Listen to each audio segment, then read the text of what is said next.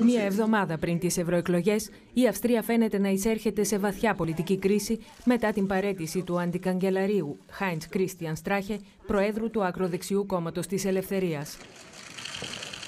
Αιτία αποτέλεσε βίντεο που δημοσίευσαν δύο από τα μεγαλύτερα γερμανικά μέσα ενημέρωσης, οι εφημερίδες Der Spiegel και Süddeutsche Zeitung, στο οποίο ο Στράχε φαίνεται να συζητά την παροχή συμβάσεων δημοσίων έργων ως αντάλλαγμα προεκλογικής στήριξης σε μια υποτιθέμενη ανιψιά Ρώσο ολιγάρχη.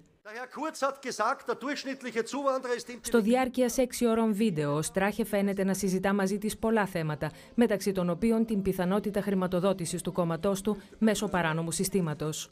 Μέσω αυτού του κοινοφελού σωματείου, με το οποίο το κόμμα δεν έχει καμία σχέση, δεν θα χρειάζεται να δίνεις καμία αναφορά για τους λογαριασμούς. Το βίντεο γυρίστηκε στην Ήμπιζα τον Ιούλιο του 2017, μόλις τρεις μήνες πριν από τις εκλογές στην Αυστρία, το αποτέλεσμα των οποίων έκανε το ακροδεξιό κόμμα της Ελευθερίας κυβερνητικό εταίρο. Στο πλαίσιο αυτό, Στράχε παροτρύνει την Αλιώνα Μακάροβα, όπως του είχε συστηθεί η ίδια, να εξαγοράσει μια εφημερίδα. Για να την πείσει, της λέει πως αυτός είναι ο μόνος τρόπος μέσω του οποίου μπορεί να γίνει ένας από τους ανθρώπους με τη μεγαλύτερη επιρροή στην Αυστρία. Πρέπει να αγοράσεις την Krone Zeitung, να διώξεις τρει-τέσσερι ανθρώπους και να πάρεις στις θέσεις τους ανθρώπους που εμπιστευόμαστε. Ο ακροδεξιός ηγέτης δείχνει απόλυτα πεπισμένος πως η ύπαρξη μέσω ενημέρωσης που θα ελέγχει θα τον βοηθήσει να πετύχει μεγαλύτερα ποσοστά στις εκλογές. Όταν θα μας προβάλλει δύο-τρεις εβδομάδες πριν τις εκλογές, τότε ναι, έχεις δίκιο.